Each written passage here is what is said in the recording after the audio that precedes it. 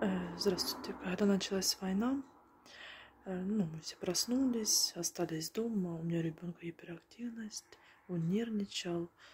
Эм, Ну, в общем, переживал сильно. Потом мы начали спускаться в подвал. Я упала. Ну, это было через месяц, наверное, после войны. Прибирали подвал и начали, ну, порядки наводить. Я упала, повредила ногу.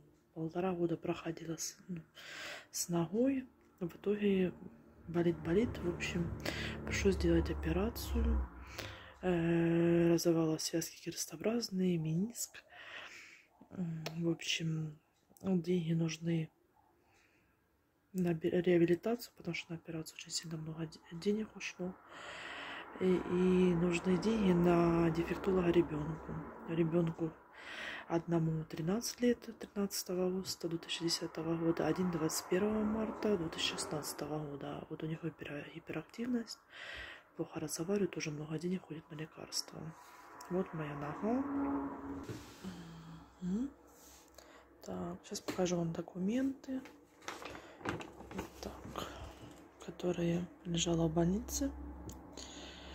Так, выписка из больницы.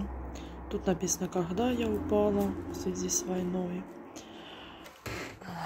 В общем, по состоянию здоровья не могу работать, хоть официально оформленная, немножко проработала, но нога болит, из-за этого пришлось сделать операцию. Дети один и второй ходят в школу, один во второй класс, один в восьмой класс. Муж временно не работает по состоянию тоже здоровья. Ну, будем надеяться, что нам поможете. Спасибо вам большое.